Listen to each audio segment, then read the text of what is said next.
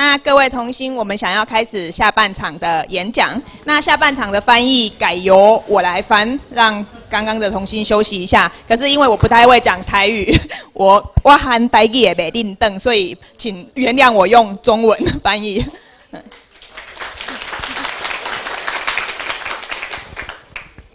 えー、それでは後半よろしくお願いします。12時までということで、えー、進めていきたいと思います。あの えー、やはりあの中華思想とは何かってあの時間がないので飛ばそうかとも思ったんですけども、えー、やはりやることにします。本来我想说可能时间不够，然后要跳过这一节。不过后来我想还是先讲一下所谓何谓中华思想。これも実は大変多くの方が間違って理解しているところが多いものです。那其实也有很多人误会所谓的中华思想。あのこのよいしょ。この図、これ、元の大帝国、モンゴル帝国、皆さんご存知と思います。那请各位看上面的图，这是元朝，应该大家都知道。えー、ユーラシア大陸を太平洋からヨーロッパまで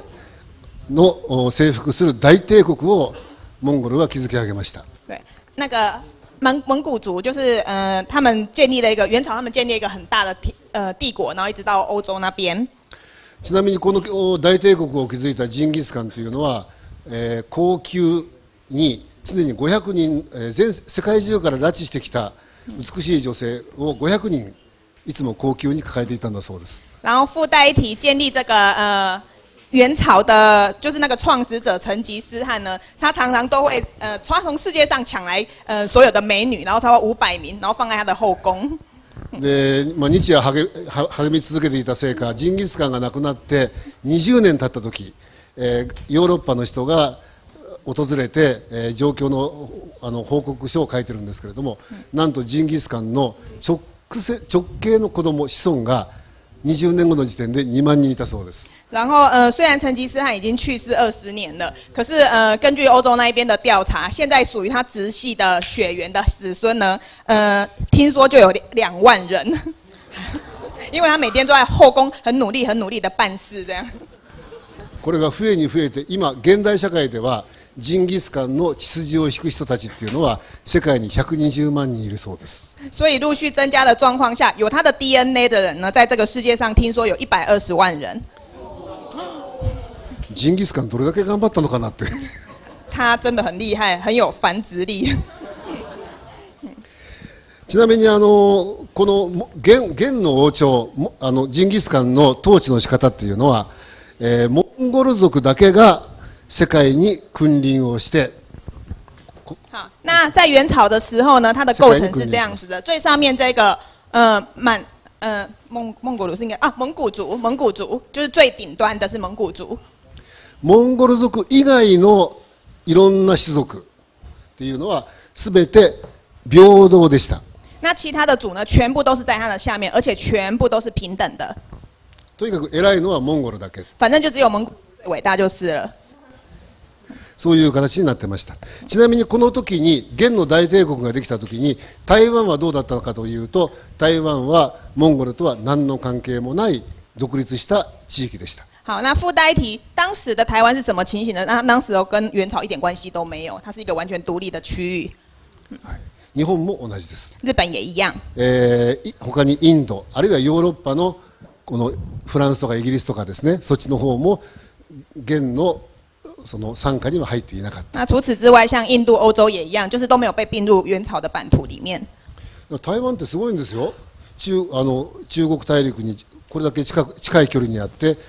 元のこの大帝国ができた時にちゃんと独立してたんです。所以从某个角度来说，台湾真的很厉害。它离中国的这么近，但是在呃在那个蒙蒙古这么强大的时候，它居然没有被并入它的版图，是独立的状态。そしてこのモンゴル族の中で一番偉い人がジンギスカンでした。好，那蒙古族里面最伟大的不用说就是成吉思汗。これが要するにその明代現代現現とか明とかっていうその明代までの中国の統治のあり方でした。那就是蒙古呃元朝之前就是有明啊，还有什么来？之前的那些都是这种。これが変化したのが清になってからです。好，做法想法改变呢是在清朝。在清朝的时候，这个思想发生了改变。ちなみにちょっと戻りますけども、あの 元の時代の中国のこ正式な文字はこういう文字でした。哦，那诶，让这各位看一下，这是元朝的时候使用的文字，就長這個樣子的，これ漢字じゃないです。所以不是漢字，他們不是使用漢字，えーこれはモンゴル文字。這個是蒙古字，蒙古的文字， これがあの元の時代の公式な文字でした。這是元朝時候的呃官方文字，正式的文字是長這個樣子。ですから元の時代には元モンゴル族風の名前をつける人たちも中国大陸にはたくさんいました。あ、すすみません、あまあいいや。今じゃあ春報とした。えーでこれが大きく変わるのが秦になってからです。好，那我們剛剛提到說，呃，這樣子的形態改變是在清朝的時候。えー清朝はそれまでの王朝と一点だけ大きく統治の仕方が違ってました。那清朝只有一點有別於以前的王朝，あのモンゴルっていうのはものすごく強かったんですね。因為蒙古它非常的強悍，嗯，ところが清朝を築いた女真族っていうのはそこまで強くないんです。可是清朝所建立的女真族其實沒有那麼強悍。 でそのためにどうしたかというとその満州族のすぐ下に漢民族を置きました好，那所以他怎麼解決這個問題呢？因為他是少數民族嘛，他就把漢族放在自己的下面。それ以外の全ての国は漢民族よりも下だってやったんです那其他的民族就都是在漢族的下面。各位還記得剛剛那個表格嗎？在元朝的時候是蒙蒙古族最大，然後其他民族是一樣的，一樣大。可是到了清朝的時候，變成是滿族的下面是漢族，然後其他的民族被放在漢族的下面。えーうんあの朝鮮とかあるいはその、えーいわゆる超公国と言われるところがあったんですけどもそれらはあなた方漢民族よりも地位は低いんだよと言って漢民族のプライドをくすぐりました所以他就跟，就是換句話說，他就把漢朝其跟漢漢族以外的民族說，呃，就跟其他的朝貢國說，你們是低於漢族的，應該是說他是跟漢族講說，你是高於其他民族的，然後讓漢族就是有一些榮譽感這樣子。ですから文字もですね、えー王宮の中つまり紫禁城の中はこの満州文字が使われます那文字呢也有點變化，在紫禁城的時候是還是用這個滿洲文字， 王宮に近いところにいる漢族は漢字を使います。然後在紫禁城周遭的漢民族呢，他們是使用漢字。その前の時代のモンゴルモンゴル語とかあるいは、えーチベット語とかウイグル語とかそれらの言葉っていうのはそれぞれの言葉でやってもらう。那其他民族，他們各自使用他們自己的文字，例如說什麼蒙蒙古啊，然後女真啊，什麼什麼的，そういう統治が行われました、是採用這樣，他們要說是採用這樣的統治方式。えーこのですね赤い赤いところここまでが新その新王朝の領土だったエリアです。結構大きいですね。今の中国よりも大きいです。嗯，那包含這個紅色的部分是當時的清清朝。で、えーこの時にこのこの図でいくとこの周りのところ周りのところこれ灰色にしてあります。色がついてません。同じように台湾色がついてません。好，那各位可以看到這個紅色區域在上面，這邊有點用灰色的，它是這個灰色，還有台灣也是灰色的。どうして色がついてないかっていうと新王朝は台湾は毛外の民であるとしていました好，那為什麼說是灰色的？換句話說，就是沒有在清的版圖內呢？就是因為當時清朝認為說台灣是化外之民、化外之地。つまり自分たちの領土ではないと換句話說，就是不是自己的領土。そのお清朝が台湾を公式に領土にしたっていうのは明治17年です然後清朝正式將台灣併入版圖是在呃明治十七年，えー1884也就是年、一八八四年。えーこの時に、 えーフランスの艦隊が台湾の北部この東東園から台北のあたりを、えーにに上陸をするんですね那因為當時就是法國的艦隊呢，他們就是攻擊台灣的北部。ところがこのフランス人たちが上陸はした上陸したんですけれども風土病にやられてみんな逃げ出しちゃうんです可是因為那個法國人，法國的艦隊雖然登上台灣的北部，但是那時候就染，所以就全部跑走了。でまたフランスに来られたら厄介だということで新王朝は台湾に、えー台湾省というのを置きました那后来就想说，呃，清朝就想说，如果法国又攻过来，实在很麻烦，所以他就在台湾设了一个台湾省。これがいつのことかというと明治18年1885年です、明治十八年ですか？はい、啊，所以那这是什么时候的事情呢？是明治十八年，1885年也就是一八八五年的时候。そんなにだからた時間経ってないんですね所以各位可以发现，应该没有很久，是很蛮之后才做这个动作的。ところが1894年につまり10年後ですね、えごめんなさい9年後そのわずたった9年後なんですけども日清戦争が起こりました然后就在那九年之后，就是他设了台湾省的九年之后，就发生了呃日清战争。 そしてその翌年に下関条約が結ばれました然后隔年，也就是呃一八九五年，就缔结了呃马关条约。日本が勝って清清が負けて嗯，因为日本赢，然后呃清朝输，で清の皇帝が日本の天皇に、えー台湾を領土とし領土領土として割譲しました那清朝的皇帝呢，就将台湾割让给日本的天皇。繰り返しますとね清王朝が台湾省を作ったつまり台湾が清王朝のの領土だった期間というのはたった10年しかないんです那我再重复一次，换句话说，台湾是清的领土，也就只有就只有九年而已，被编入呃在被编入清朝，就只有九年而已。そして1895年に、えー台湾は日本の一部となりました然后在一八九五年，台湾就成为日本的一部分了。そして50年間台湾の皆さんは日本人であったわけです那之后各位就知道了，持续五十年，我们台湾都是就都是日本臣民。えーちなみにですね今中華人民共和国これこのいろいろ地名が入っているところが中華人民共和国ですね啊，这个是现在的呃中华中中华人民共和国中国。先ほど新王朝の話をしました嗯，刚我们有提到清朝的呃この赤いエ事情リアです包含这个红色部分。赤いエリアは女神族の皇帝が持っていた土地です这个红色的部分呢，是女清族呃女真族的皇帝所拥有的领土。辛亥革命が起こって新王朝が滅んで然后在辛亥革命之后呢，清朝灭亡，漢民族がここに中最初中華民国を作りました然后呃汉族呢就在这边刚开始就在这边建立所谓的中华民国， 今それが中華人民共和国ととなっておりますけれども。彼らのマインド彼らの心気持ちからすると新王朝の領土だったところは新王朝がいなくなったんだから俺たちの領土だと所以在中华民国人的的想法里面，就是反正这个这一块以前是清朝的啊，清朝现在不在了，所以它是我的了，这样。だからちょくちょくちょっかいを出してるわけです对，所以就老是想要找长辈的麻烦，然后想要去侵略人家、并吞人家这样。あのー彼らのやり方あの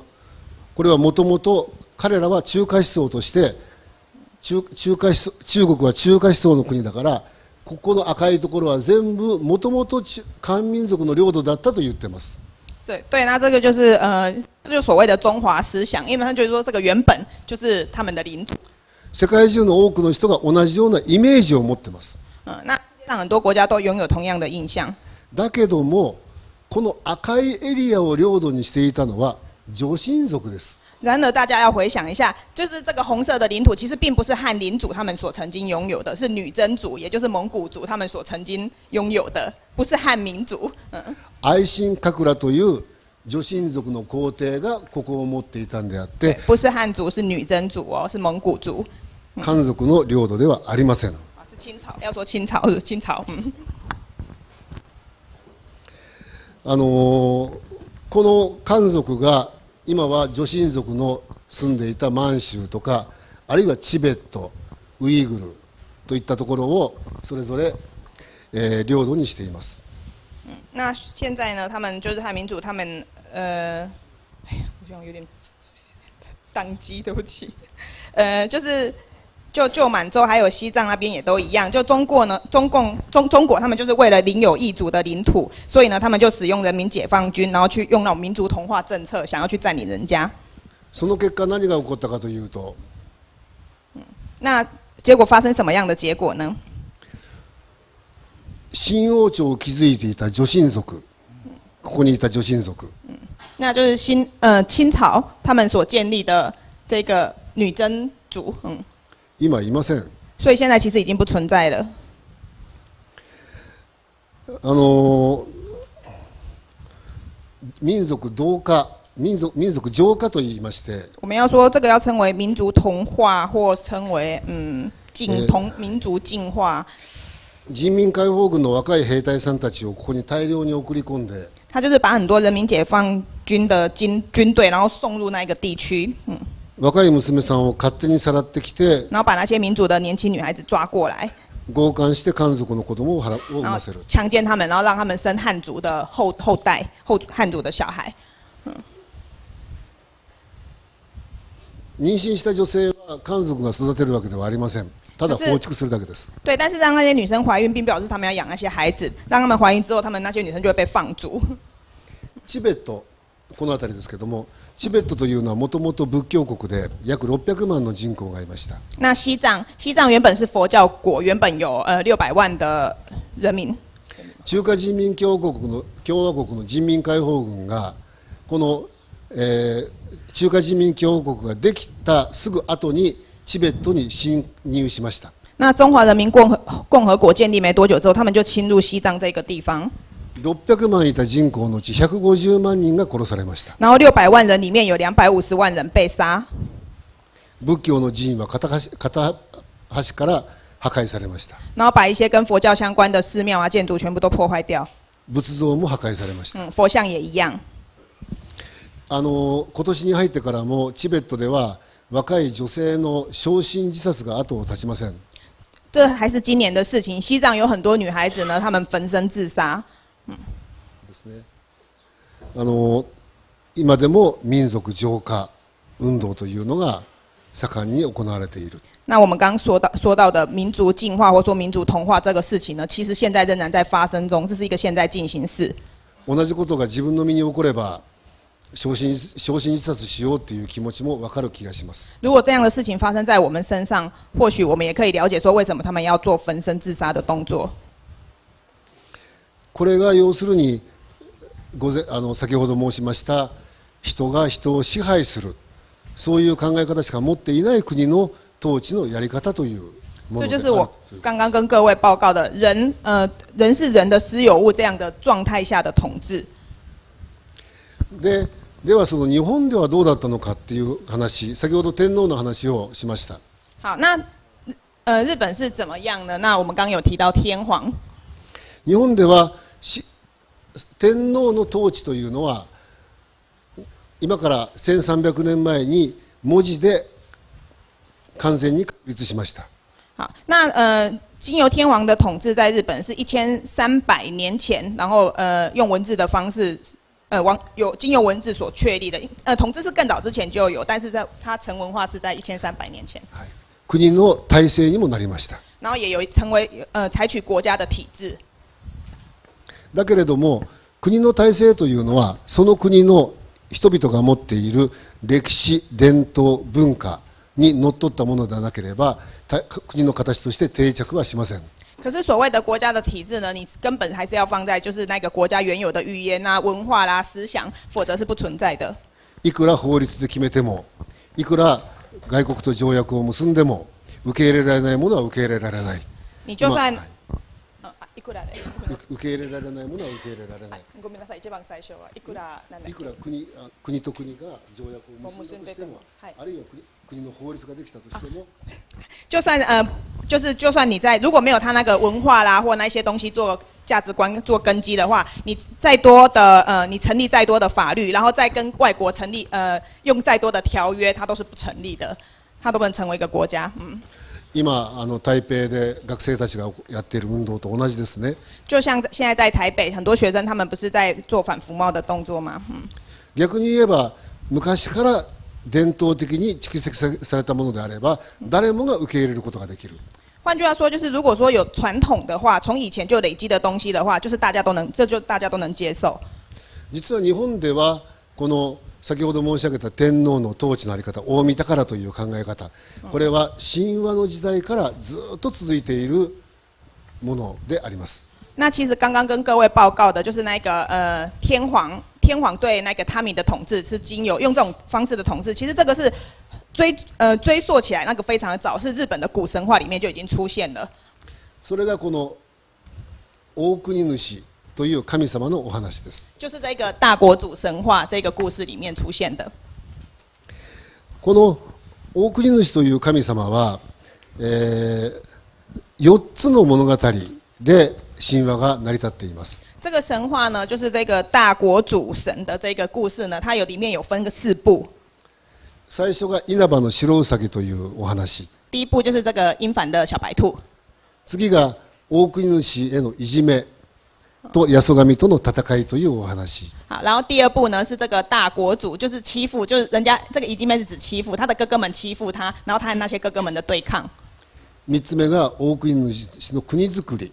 好，然后第三就是这个大国主神，他创建了自己的国家。そして四つ目が国譲り神話という然后第四步呢，就是他把国家让出来。実はこの大国主という神様がいた時代っていうのは日本国内に121の国があったと言われています那其实这个大国主神的神话这个时代呢，那时候日本有一百二十一个国家存在国内，日本国土里面有一百二十一个国家存在。 それらがまとまって大きな日本という一つの国になっていくわけですけれども。そのことを書いた日本の神話の中でなぜかこの大国主という一つの国の神様のお話だけが神話の中のものすごく膨大な部分を占めています好，那关于这个呃故事呢，不知道为什么，就是描述这个大国主神，就是它的部分特别特别的多，它的量特别的多。それだけこの大国主の物語というのが大切なお話であったということ换句话说，我们可以说这个大国主神的这个故事是非常重要的。この大国主神話ってご存知の方请问有人听过这个大国主神话吗？大国主神这个故事吗？1名だけあのすごくすごく簡単にお話しします那我简单的说明一下这个故事。あの初めこの大国主が若い頃。啊，就是这个大国主神，他年轻的时候，他小的时候，嗯，大名持と呼ばれてました。他被称为欧大名持。欧纳姆吉，他那时候被称为欧纳姆吉。最後には大いなる国の主となった偉大な神様なんですね。那他小时候那时候当然还没有成为国王啊，后来就成为这个大国的主人这样子，那是他后来之后的事情了。ところが若い頃は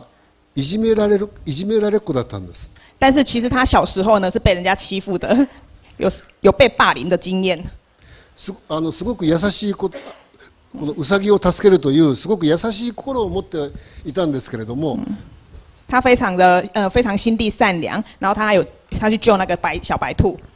気持ちが優しいから、お兄さんたちにものすごくいじめられるんです。但是因为他个性太温和了，然后就被哥哥们欺负，いじめられるだけじゃなくて殺されかける而且不止被欺负，还差点被杀了。本当にひどい目に遭うんです就是反正就是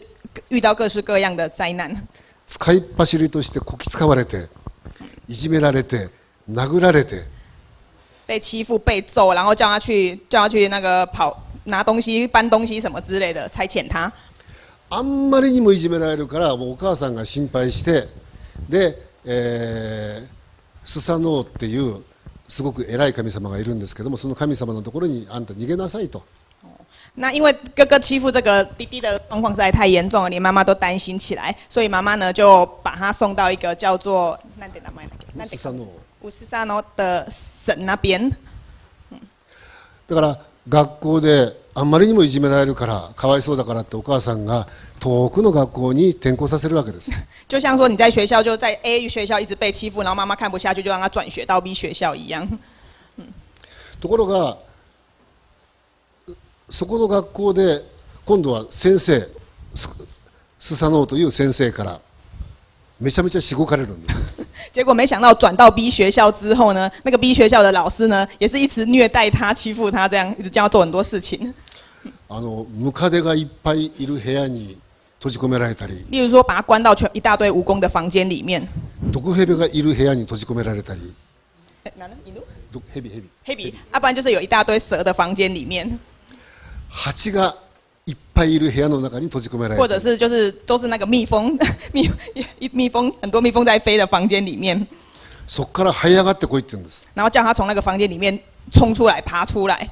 自分の力で出てきなさいって言うんです。要用自己的力量出来，嗯，要用自己的力量离开那个房间。で大ナムチそのいじめられていた大ナムチは、えースサノオの娘さんと仲良くなって。然后后来呢，这个这个人呢，呃，欧纳姆吉他就跟那个那那个老师，就是那个神的女儿呢，互相有好感，嗯，彼女に助けてもらいながらその危機を脱するわけですね然后有时候还就是就是因为他就他老师给他很多试炼，然后老师的女儿就一直帮他这样。自分一人だけではその蜂がいっぱいいる部屋とか蛇がいっぱいいる部屋から出ることができない如果はい嗯。如果他只有他自己一个人的话，他应该是没有办法从那个都是房间啊，或蜜蜂啊，然后蜈蚣的房间出来。人の助けを借りることによって本当に危ないところから脱出することができるということを学ぶんです所以，然后他就学习到要呃借由他人的力量，也就是那个老师的女儿嘛，借由他人的帮助，然后成长，脱离苦难。人は一人で生きてるんじゃない所以我们人不是一个人生活下助，け合いながら生きている对，要互相帮助才能活下去。学习到这一点，で、えー最後にそのスサノオという偉い神様からよくやったということでお前にこの刀をさ授けるからこの刀でいじめてたあた連中をみんなやっつけろと 言って刀をもらうんです然后后来那个老师呢就夸奖他说：“你做的很好。”然后就赐他一把刀，叫他用那一把刀对付那些欺负他的人。で、えー大名ムはその刀を使って兄貴そのいじめてた悪い奴らみんなやっつけるんです所以他就用那一把刀，然后把欺负他的哥哥啊或其他人，嗯嗯嗯，去对付他们。そして大大出雲っていう大きな国の主になりました然后就成为一只某就是出云之国的呃一国之君。ところがですねその大く大大きな国のご主人様になったんですけれどもどうやって国を統治していいかわからないんです然而，他虽然成为一国之君，却不知道要怎么统治国家。そしたらここにこれスクナビコっていう名前の神様なんですね有没有看到这个小小的？这个叫做 a m i k o 是一个神，一个神，ちっちゃいでしょ？很小吧？ちっちゃいけど生意気なんです、虽然很小，但是很很很摇摆，然后很厉害，はい、言葉遣い悪いんです。呃，而且用词非常的坏，这样子就是，哎，用就是讲话很不客气这样。しかも人の耳耳元で耳を引っ張りながら、うんむちゃくちゃなこと言うんです。对，然后就就会拉着他的耳朵，然后在他耳边讲一些有的没有的，这样讲一堆话。だけど彼は言ってることは言葉遣いも悪いし態度も乱暴なんですけども言ってることは正しいんです但是这个小神呢，他虽然就是用词很不好，然后态度又很坏，但是他讲的话都是非常正确的，非常に頭のいい神様なんですね就是一个非常聪明的神。大名持はもう名前が大国大国主になってますけども大国主はこの少なびこの言うことをきちんと聞いてそれを国の国づくりに生かしていきます好，那所以这个欧纳木吉他已经成为大国主了，也就是所谓的一国之君。他虽然这个小神的用词很不好，但是他都会听他的话，然后用来用来，他就会听他的话，然后治理这个国家。 20年ぐらい経った時然后过了二十年之后，大国主が治めている出雲の国というのはものすごく豊かないい国になりました好，那这一位大国主他所統治的国家就成为一个非常丰饶的国家。良い国になったねと言って少なびこはそのまま天に帰っていきました 好，那因为已经成为很很好的一个国家了，那所以这个神呢，他就回天国去了，回到他的地方去了。あの体が この絵ですとねあのこうちっちゃいですけども「古事記」の中には親指ぐらいの大きさだと書いてあります在那个古祭祀里面，就是古代神话是写说它的大小差不多一一个拇指大。ただ本当に小さかったということではないようなんですねあの要するに体が小さい要するに武力を使えないような人对，那可能是一种形容的方式，并不是说真的这么小，他只是形容说他个子虽然很小，但是他不使用武力，用非武力的方式。嗯，一発ぶん殴ったら飛んでっちゃいそうなひ弱なやつ对，那就是说，如果你用武力对付他，就说你可能揍他一拳，他就不知道飞到哪里去了，因为就呃就不太大嘛，あるいは口の利き方が悪いやつ而且他的用词又很不好，乱暴な言い方をするね呃，就讲话就很粗鲁这样。でも国を治めていくためにはそういう人たちの意見もちゃんと聞くんだよという教えなんです。那这个故事他是在说什么？就是说，虽然说这是一个这样子的人，给他谏言、给他忠告是一个这样子的人，但是呃，这个大国主他为了要统治这个国家，即使给他谏言的是这么样的一个人，就是用词很坏，然后态度很不好的人，但是他还是会听。嗯そうすることによって大国主は偉大な王様になりました那也就是因为他越可以听别人的忠告跟谏言，所以呃，这个大国主他就成为呃一个很棒的国王，嗯， みんなから尊敬される王様になったんです然后成为让民众所尊敬的呃国王。ヨーロッパの昔のお話であればそそこでめでたしめでたし那如果是欧洲呃或者欧美那边的神话，在这边好像就应该故事就应该结束了嘛，就从此王子跟公主就过着快乐的生活，当当这样子。これに美しいお姫様が登場したらディズニーのアニメになります对啊，如果再再再配上一个那个公主的话，那应该故事就很圆满结束了。ところが日本の神話っていうのはそうはならないんです可ね是日本的神话并不是如此，何が起こったかというと那就发生什么事呢？日本ではアマテラス大神という神様が一番偉い神様です。那在日本呢，最呃最伟大的神是天照大天呃天照大神，嗯，そのアマテラス大神の使いの人が大国主の大国主のところにやってきて然后这个天照大神呢，他就到这个大大国主神这边来，汝が牛吐く国は我が巫女の知らす国ぞ然后う跟他讲了这一句话，就南吉が牛吐くこの国は我が巫女の知らす国ぞ，就讲了这一句话。訳した方がいいんです。この言葉、今から説明ですか？あ、はい。あの他他接下来要说明。でこれこの言葉を聞いた大国主はああ自分は間違っていた偉大な王様ですよ偉大な王様なんですけれどもああ自分は間違っていたと言って素直に国を譲るんです然后他听了这一句话之后，他是一国之君哦，可是他听了这一句话之后呢，他就恍然大悟，然后就把他的国家让出来。ちょっと不思議に思いませんか大家有没有觉得很奇怪？这句话到底是什么？実は今申し上げた牛吐く好，那我们来说明一下这句话到底是什么意思。这个这一句话里面出现的“乌西哈古”是这个意思， そしてこちらにあるシラス。谢拉斯是告知的意思，乌西哈古是私有的意思。牛吐くというのは冒頭から申し上げている私物化する私有化するという意味です。好，那刚刚提到的乌西哈古就是刚刚我们最前面讲到的私有物的这个概念，嗯。主人が私有する。嗯，就是主人所个人所拥有的、个人私有的。これ、えー日本日本人の方で漢字で書いたら主人が吐く。吐くっていうのは刀を腰に吐く。いう吐くです。だから自分のものにするってことですね。ここれが牛吐く。そしてシラスというのは知らすです。みんなに知らせる。对，那希拉斯就是告知，就是让大家知道的意思，就是希拉斯。あのーこれがどういう違いかというと例えば牛吐く国であれば王様がこの国をもっと豊かにするためにこの辺に田んぼを作ったらいいねと思ったとします。好，那我们来说明一下这个是是一个什么样的情形。就是说，如果是乌西哈古的统治的状况下呢，今天国王他想要，呃，他可以，呃，田んぼ作る田んぼ。呃，他可以，例如说他这边就哎很多农地这样，そのために王様は一般の民衆を挑発勝手に集めてきて。那他为了耕作农地呢，他就可以征收所有的人来耕作这一块农地。武器を突きつけて对兵隊さんに集めさせる。对，例如说用武力强迫他们来做事情，这样子，强迫他们劳动。でお前たち働け。ここここを平らにしろ。木を抜け。お前たちお前たち働け。と言って鞭でしばく。哦，例如说用用鞭子鞭打人这样子，就哎你们搬砖头啊，然后种稻啊，干嘛干嘛的这样子。働いてる人たちは突然いきなり引っ張られていっていきなりここの木を抜けとか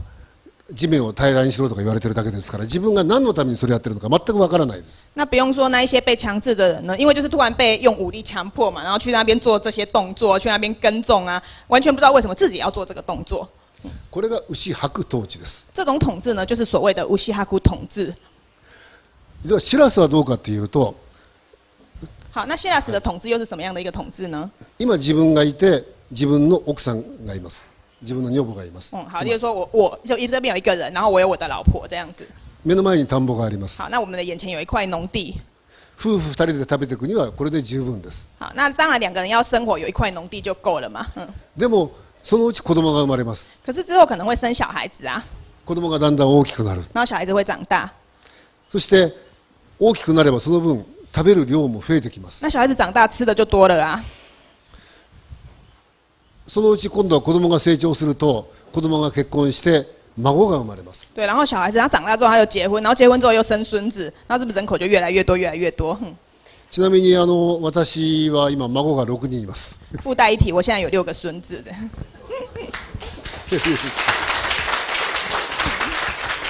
最初は夫婦夫婦2人だけなんです。原本就只有两个人而已，夫妻两个人，でも子供が2人いて然后后来生了两人になって。孩子，变变四个人。今孫が6人いますから全部で10人です。对，然后加上现在加上孙子，已经一个家族已经变成十个人了。10人分食べれるようにしなくちゃいけないんです。那所以就是说，我们吃的东西就必须要有十人份才够。うちだけじゃないです。お隣さんもそうそのお隣さんもそう对，那当然不止我家怎样，可能我们家隔壁的、隔壁的也都是情况都是一样的。だからみんなで協力して今のうちからもっと広田んぼを広くしようよ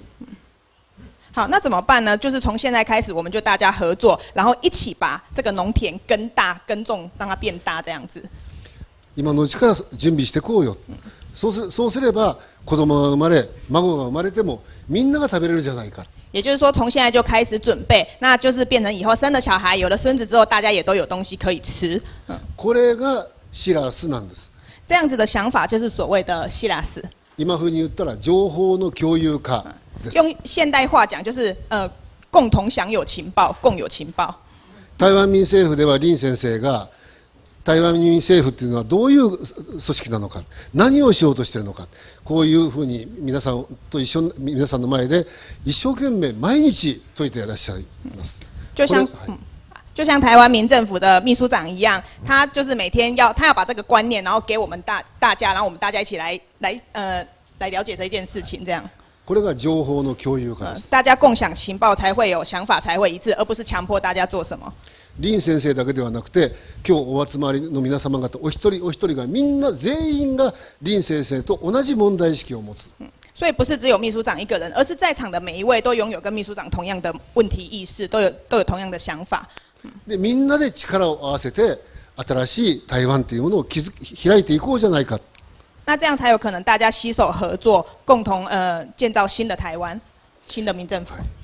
120民政府万人の子供を作ったジンギスカンだけの世界じゃないんです。えすみません。はい。120万人の子供を作ったジンギスカン。さっきの話、はい。ジンギスカンだけの世界じゃないんです。みんなにとっての世界なんです。所以不是像我们刚刚不是有提到成吉思汗，然后他的子孙就一百二十万人嘛？这样。不是不是那个是不是这样子的？嗯，そのために情報の共有化をしていく。これがシラスという考え方です。对，不是就一直生小孩，而是大家要拥有共同的想法跟情报，这个就是所谓的希拉斯。これが日本の神話に出てきます这个嗯、这刚刚我们在讲的这个概念，它出现在日本的古纪古代的神话。日本の神様の物語です嗯，这是日本的天神的故事。日本は神教の国ですから神様がたくさんいます那其实日本是一个多神教的国家，有很他们从呃就是供奉很多的神。その神様の中で一番偉い神様が天照大神様那一大堆神里面最伟大的就是我们刚刚说的天照大神。嗯その天照大神様からの直系のご子孫が日本の天皇陛下で那す天照大神他的后代就是他子孙，就是现在的天皇。天照大神様のお血血筋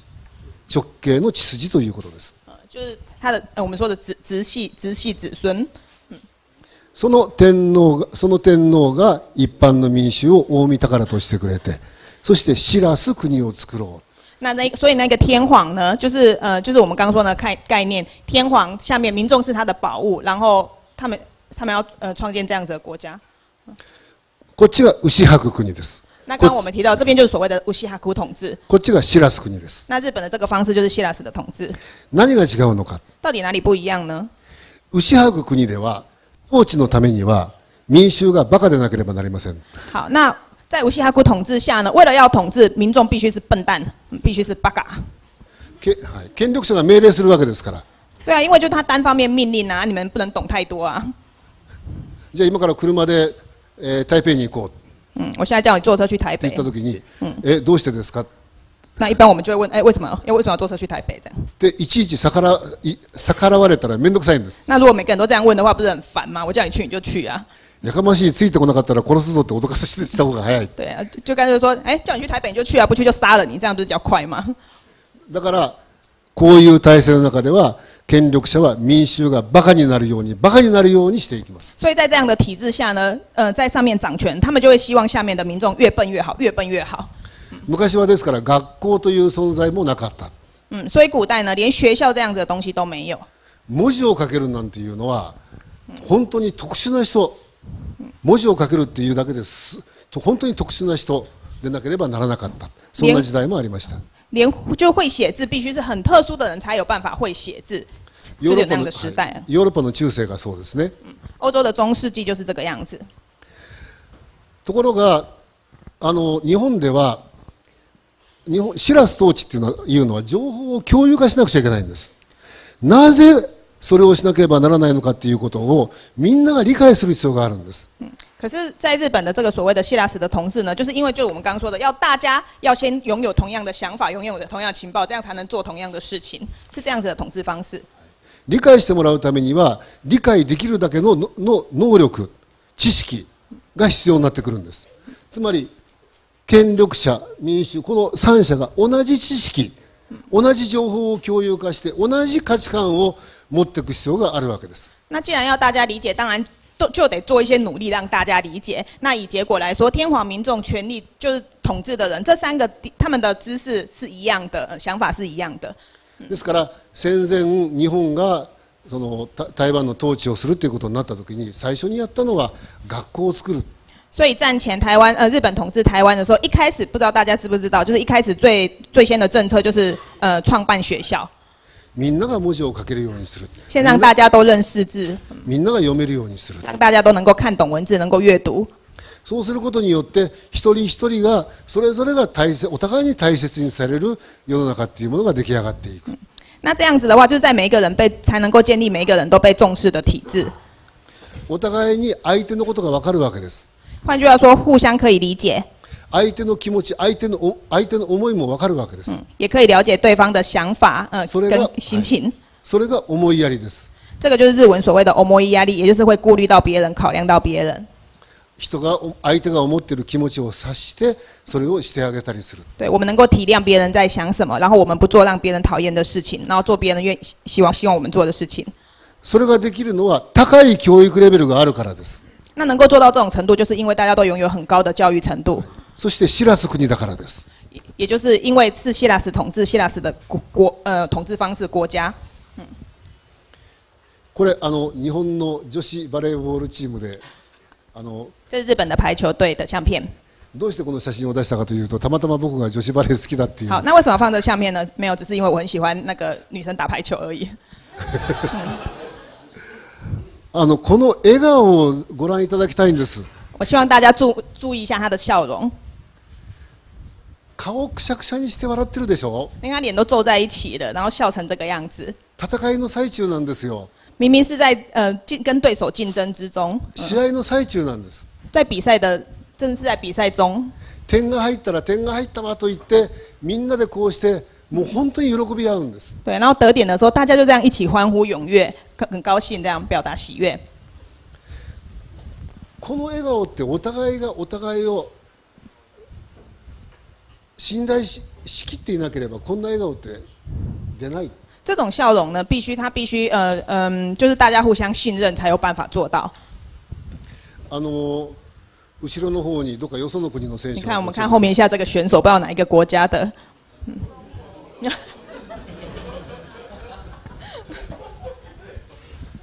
点が入るとどんな問題という顔するんですね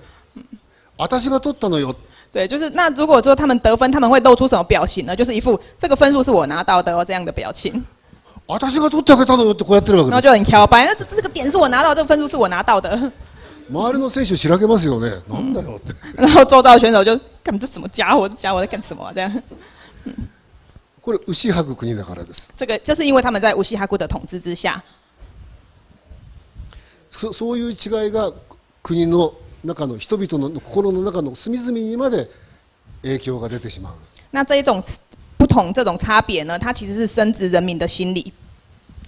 これはですこれはあの1954年ですからまあ戦後ですけども戦後一九五四年，嗯，えー戦争が終わって9年目ですね。その頃の台湾の女子バレーボールチームの写真です。这是战后没多久的那个女台湾的女生的排球队。あのとってもいい顔してると思いませんか？大家不觉得他们的笑容也非常的棒吗？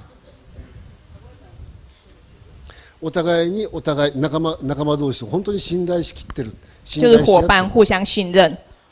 まだ10年経った時にはこういうマインドっていうのがいちゃんと残っていたということ虽然已经过了十年了，但是这样子的呃，就是那种日本的那种希腊式的那种，还是在深植各位的心，这些人的心里面。であろうと思いますそして人々にとって知らす国っていうもの。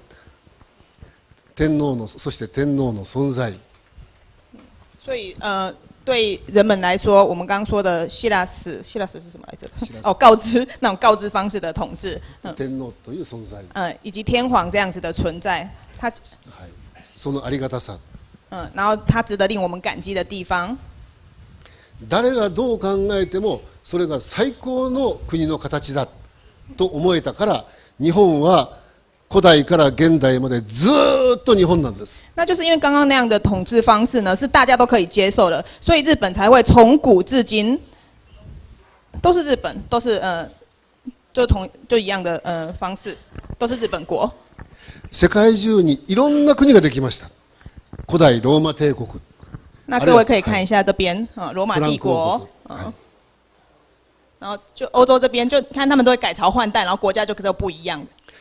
イスラム帝国とかサザン朝ペルシャペルシャなんていう帝国もありましたねいろんな国がありましたオスマン帝国もありました对，你看大家看这个就知道，有各种各样的国家。意外とこうしてみるとあの直中国っていうのは起来コロコロコロコロ変わってるんです然后中国也是一样，我们刚刚讲的前汉、后汉、唐啊，就很多国家一直一直在改朝换代、改朝换代。 なぜ国が滅びるんでしょうか？为什么一个国家会灭亡呢？なぜ国がなくなるんでしょうか？为什么会不见呢？国家为什么会不见呢？いろんな不都合最初国ができた時にはみんな大喜びしたはずなんです刚开始一个新的国家呃成立的时候，大家应该都非常高兴才对。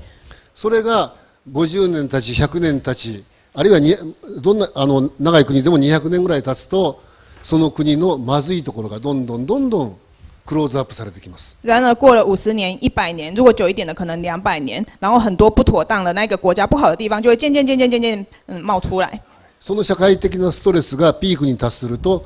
王朝の交代が起こります然后当人民的不不满累积到一定程度的时候，王朝就会替换。だから続いてる国ないです所以大家可以发现，没有一个国家可以永永呃长长久久，なぜかといえばみんな牛白なんです。因为大家都是无锡哈库，就是我们刚刚说的那一种统治方式，就是私人拥有私有的统治方式。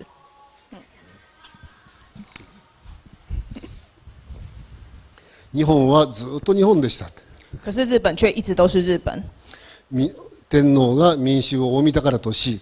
嗯，人民把呃天皇把人民当作宝物，そしてお互いに情報の共有化をし然后大家拥有共同的情报跟价值观、想法，みんなで努力して然后大家共同努力，高い教育のもとに在在很高的教育下、そして高い道徳観のもとに很高的道德观下，いい国を作っていこ然后创建一个好的国家。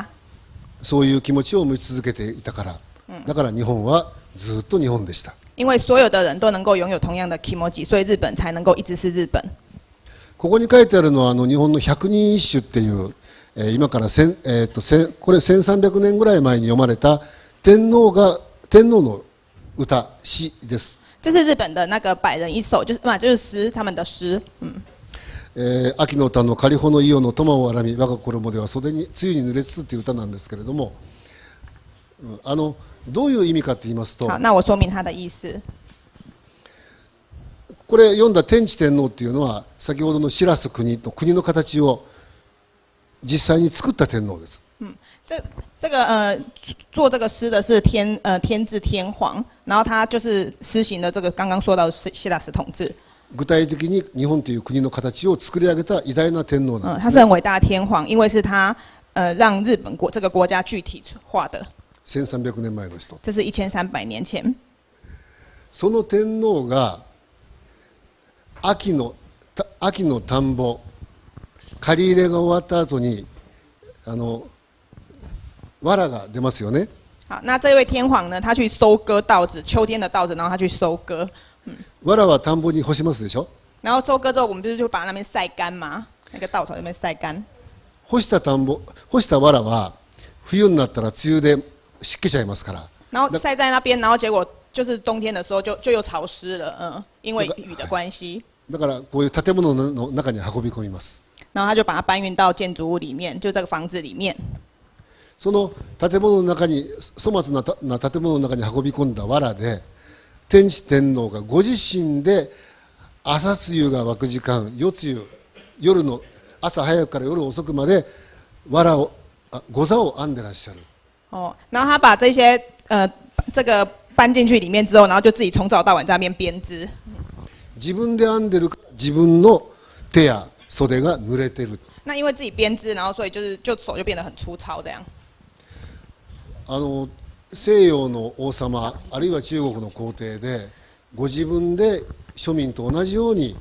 生活の道具を自分で使う生活の道具を一生懸命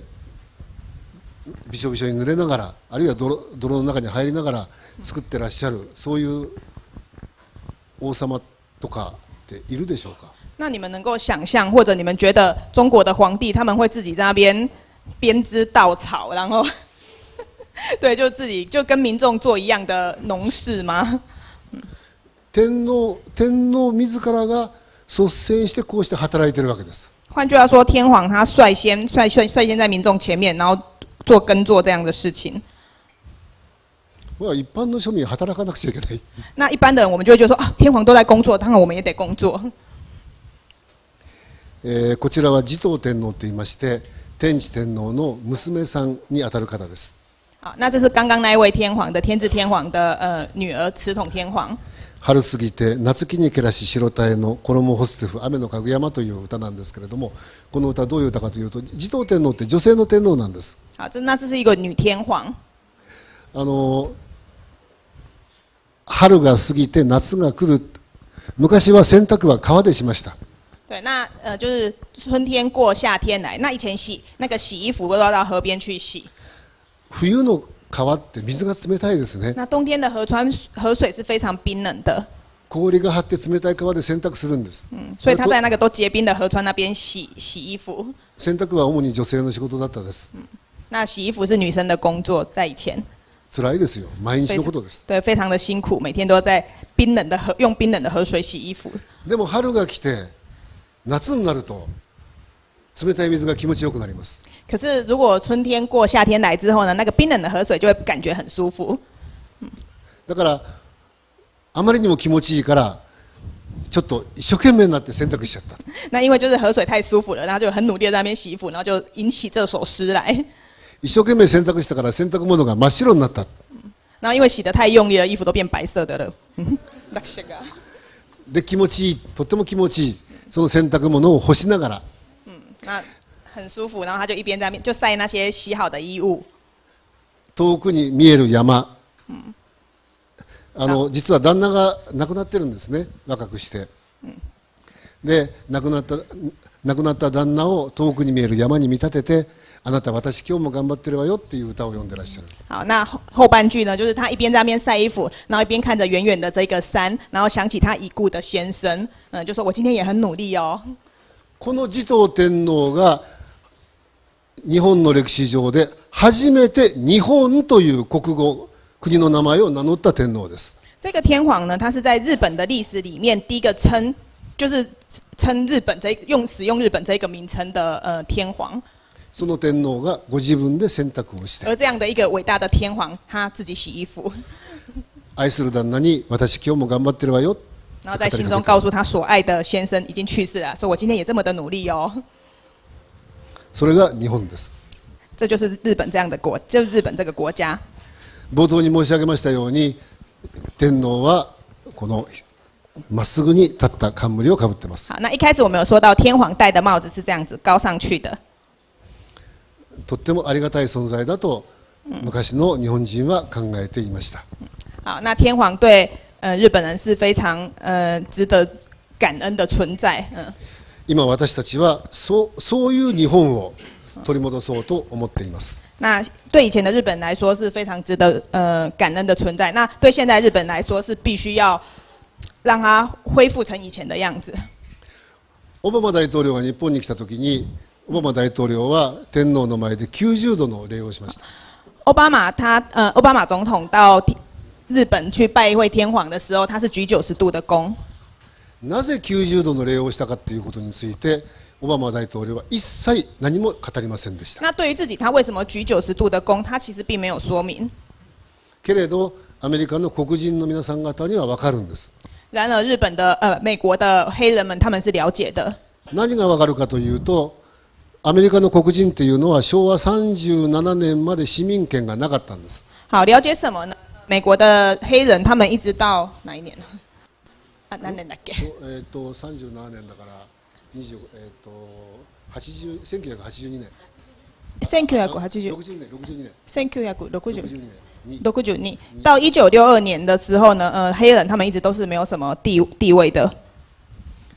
それまで市民じゃなかったんです嗯、在那之前他们没有选举权，然后也没有办法，呃，因为他们不是市民，ものだったんです他们是东西。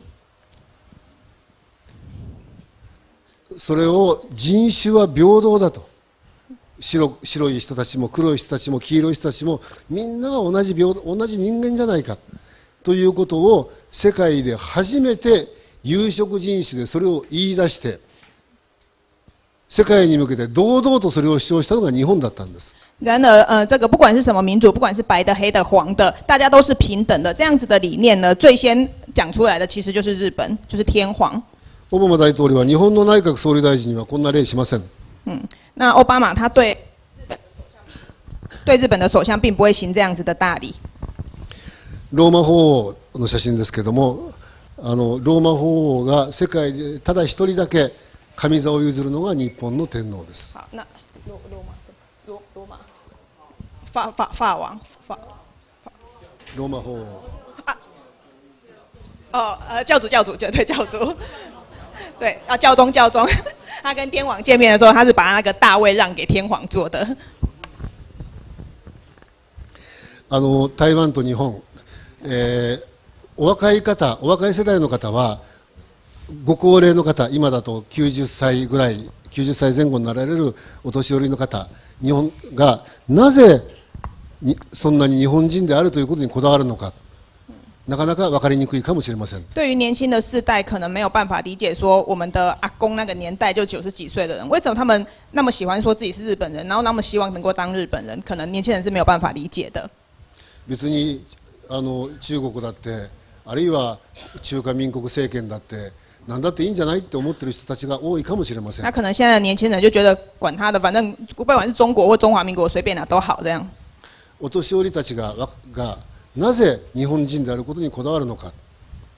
为什么呃，就是长辈们他们会想要当日本人？大見宝だったからです。那是因为他们是天皇的宝物，宝物として人としての尊厳を認められたそういう青春時代を送ってきたからなんです因为他们度过了就是身为天皇的宝物，然后被当成一个人尊重这样子的年代。これからの台湾というものがどういうふうになっていくのかそれは皆さん方の選択だと思いますだけどただ一つだけ人間であること人としての尊厳を認められるそういう国づくりをしていこうじゃないですか那那当然，接下来台湾会走什么样的路，这是各位的选择。可是无论如何，我们是不是都应该就是拥有这样的想法，就是呃尊重人，尊重人，抱着尊重人这样个人的理念，然后做一个好，创造一个好的国家呢？え本日はご清聴ありがとうございました。感谢各位今天的聆听。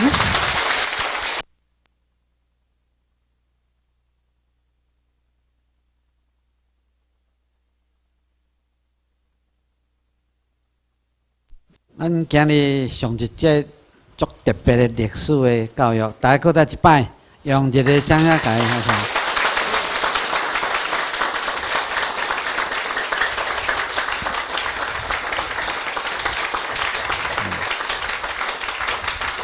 我相信各位啊，过去伫学校内底所读的中国人甲咱写的教科书，含日本人甲咱教的遮物件，实在讲完全无共款。啊，等于家己思考看觅啊。那咱的时间也差不多啊，咱餐厅排队食饭，多谢各位，谢谢。